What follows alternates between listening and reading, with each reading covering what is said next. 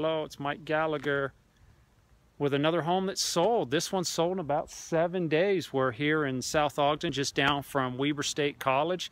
This lovely all brick duplex, great investment property, cash flows really well.